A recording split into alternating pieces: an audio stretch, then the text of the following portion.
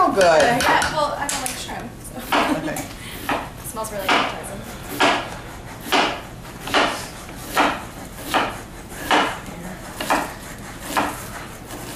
So we need to put the zucchini and get it washed up and dried, and then we're going to um, put it on the mandolin.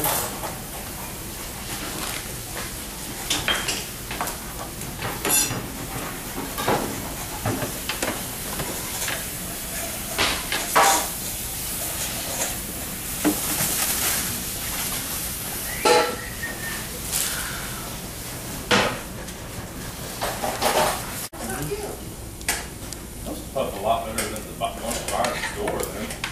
Yeah, I think so. All right, so now that we've got these sauteing, we're gonna get some garlic in, then we're gonna saute our, our zucchini and yellow squash, season with salt and pepper. This, uh, like mushrooms, not as much liquid, but it's gonna give off some liquid, so we do wanna strain it in a colander before we go and assemble the timbales.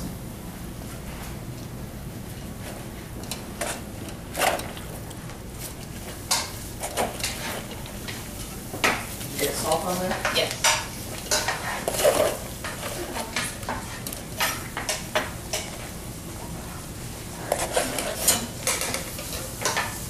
What are these basically like little casseroles? I guess, yeah. That sounds wonderful. The dressing on the salad, we probably could, I mean, we have a lot of lettuce there, so we probably could have done with a little bit more. Um, but you still get a nice flavor on there, and what I, I'd rather have this than too much. Yeah. I, I like the amount of. It's always too much. It's a really, it's got such a good flavor. And then we're gonna drain this, toss it with a little bit of oil, and then we'll fry it up with some butter and garlic and stuff. I'm not worried about having salt and water for this because the dough itself, unlike pasta, has salt in it. Okay. So that's not, Do we put Parmesan in it yet? we, not yet. That will go in, we'll put it on top. Oh, okay. and get it done. So, this is designed to go on the edge of the pan like that, so that it doesn't get pushed off. This sits on top, our dough goes in here, and then we just start going like this. We're gonna have to have somebody hold here. You do not wanna take this off the edge, because you're gonna end up with dough off down the side and on the stove top. Do you have to go kind of quickly? You have to go quickly, yes. So we'll take this off so it doesn't heat up too much. As soon as it boils? Yep, this is like, you know, waiting for the water to boil. Watch pot never boils. It does eventually. Yes. Keep watching. So you said you could do that with a colander. but You can you do it with a colander. It's a messy job.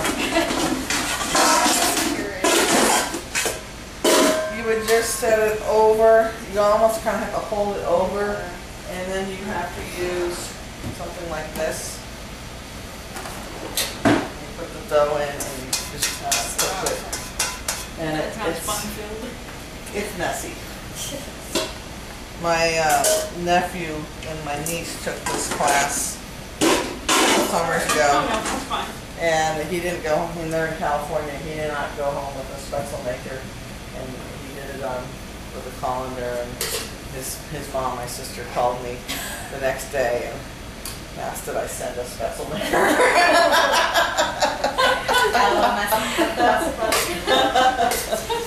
So, yeah, apparently it was Should I get a sheet pan or anything? quite the event. No, we're gonna go right in here, we'll drain them and then we'll put them in a bowl. Okay. So you can have these pre-made, have them in the fridge, put them in a plastic bag. and Mm-hmm. They won't all fuse together. If we're That was gonna chill them down, then we're gonna put a little oil on them. Okay. Everybody can watch. Just gonna try and load it in there. And then we're just going very quickly. Somebody hold that handle, car handle. Going very quickly.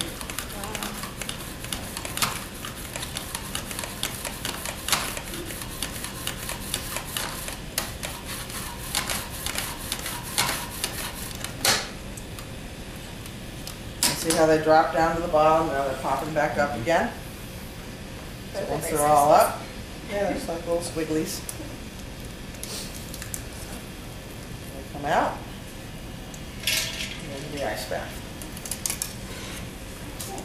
I think I had my top upside down. Still works. Better. Okay, so I think this actually is good like this. Yep. That's how you say it. Okay. That's the first one, right? Okay, huh? Once they pop up, I'll let them cook for about thirty seconds. And you're gonna pull them out.